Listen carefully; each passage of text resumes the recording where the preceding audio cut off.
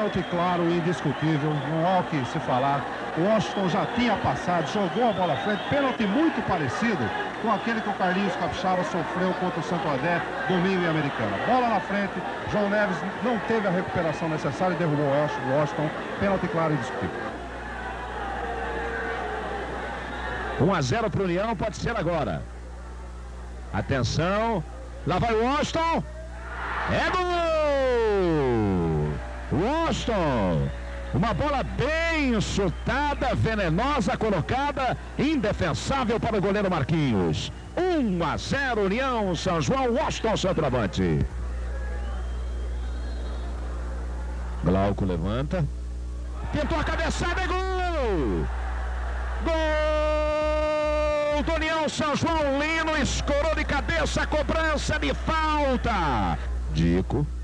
Agora tá difícil, tem três homens. Ele viu o Silvio atrás. Olha aí o Silvio com a bola dominada.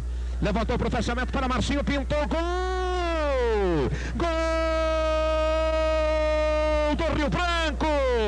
Marcinho, Marcinho, Marcinho. Empatando o jogo na marca de 11 minutos e 54. Ô louco, bandeirinha. Levantamento não marcou impedimento. Vai tentar o terceiro gol. Bola com César. Tocou. É gol! Terceiro gol do União São João, César, o ponta esquerda, quando a reclamação ali do banco, o técnico Aflânio fica preocupado, reclama do Bandeira. Jogadores também reclamam posição de impedimento no ataque do União. É, reclamação é cabível. Silvio. Levantou. Atenção, Curê vai marcar, é gol! O bandeirinha marcou e vai correndo para o centro do gol. Validado o gol.